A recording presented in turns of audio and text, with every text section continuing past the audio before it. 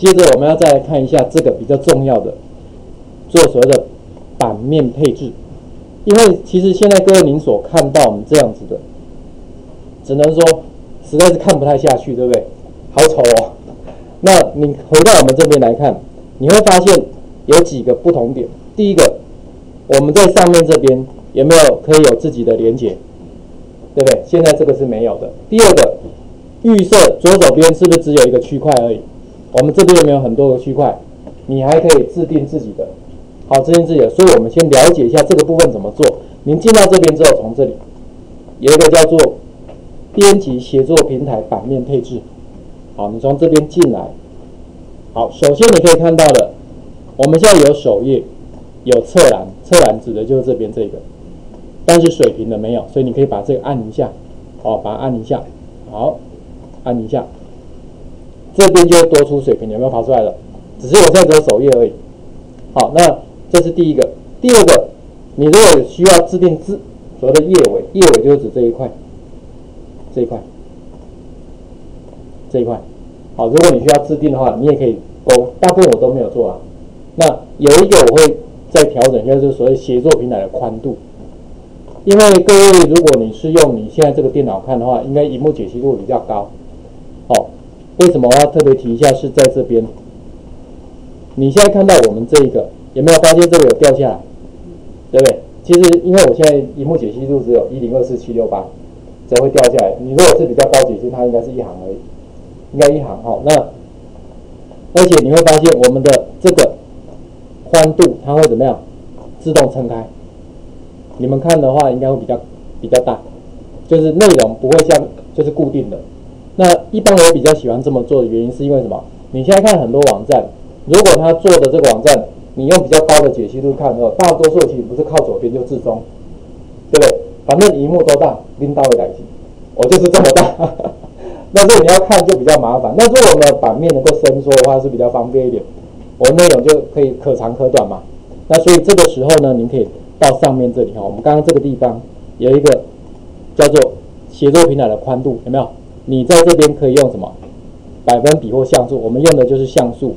所以通常我在这边，比如说用百分之九十六或者九十，那因为百分比是相对的嘛，所以今天荧幕比较大的时候就怎样，它就自动撑开，就自动撑开，你就不会说锁在那里了，哦，就不会锁在那，这个很好的一个功能哈。那这边呢，上面我们刚刚加了水平导览列，对不对？还有调整这个宽度之后，我们先来看看水平导览列这边怎么设定。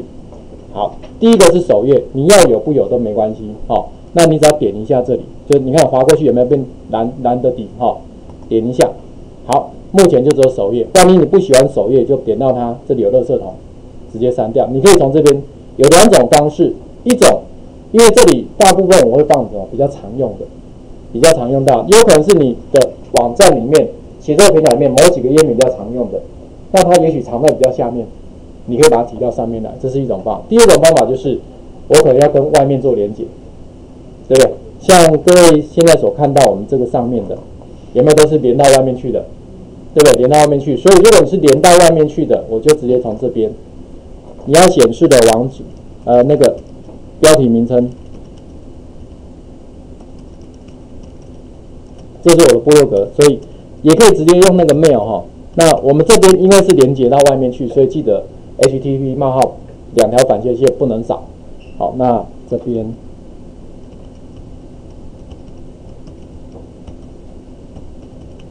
这样，那通常我们希望它在这里打开嘛，对，不然你自己就不见了哈。所以它大部分我这里会勾起来。好，那顺序你就可以自己决定了哈。那我们再来这边，我再增加一个这个好了哈，这里好。新增，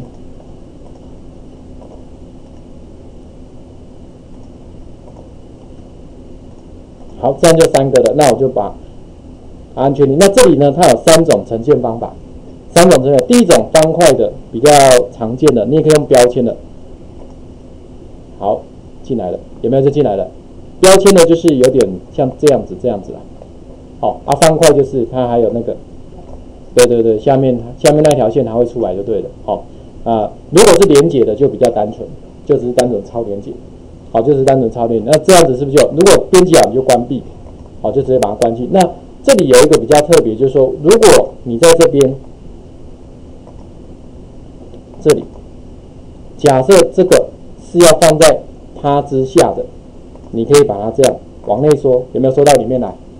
这样会有什么情形？你觉得呢？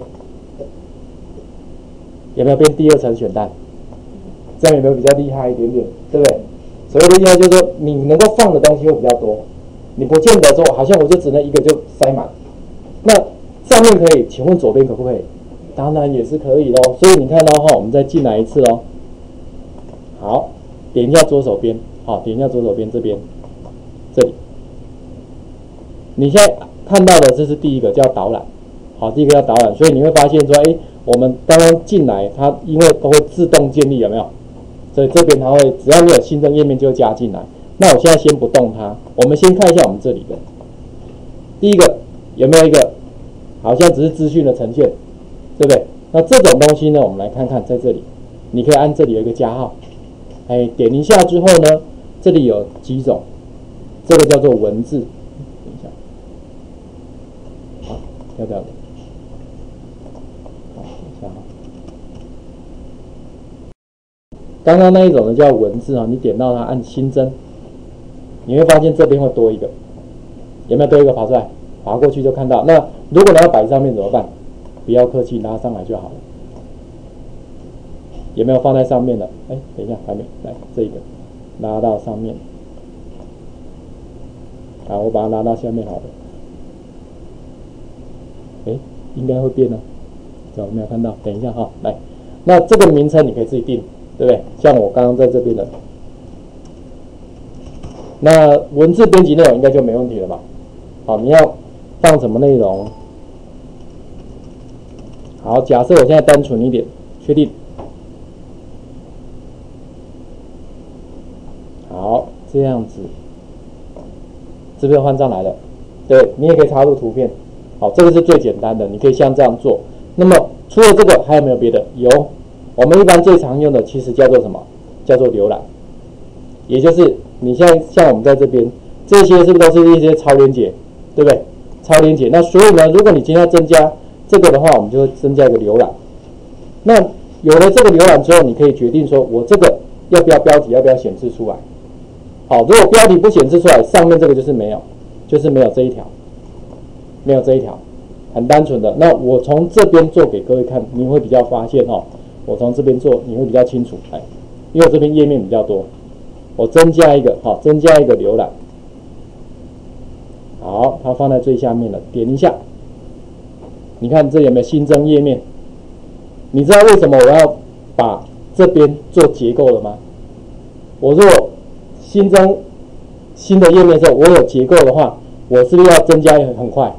因为我看得很清楚，可是如果你都没有整理，这里面一打开就是一头拉骨，然后自己慢慢找，不是说不行，只是要找的时间比较长。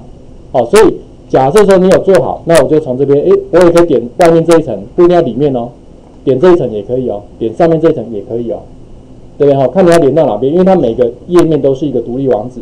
如果好了，按确定就下来了，那一样上一页、下一页，或者你要跟别的网址混在一起都可以。这样都会的，对不对？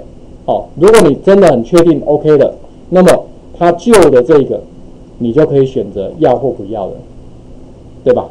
哎，你就你可以自己决定要或不要，因为你已经会这个了嘛，这样你的弹性就会比较大。OK，那我就把画面还给您喽。所以我们刚刚主要跟各位分享在哪里？在协作平台最上面那边有一个叫什么？编辑协作平台版面配置。在那个齿轮那边，好，在齿轮那边右上角那个齿轮，编辑协作平台版面配置。第一个，你可以先把所谓的水平导览列把它打开，好，水平的那一个。那再来就是编辑水平导览列跟我们的左边的所谓的侧栏。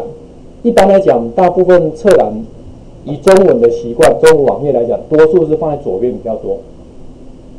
那但是英文的。就有比较有机会放在右边，比如说像你看到一些部落格，有没有它的版型配置上可能选单是在右边的，但是一般中文来讲，多数是在左边比较多。好，那还有一个我们刚刚提到就是写作平台的宽度有没有？你可以用什么百分比的，可以尝试看看哈。那这样的话会随着不同荧幕解析度，它会自动调整。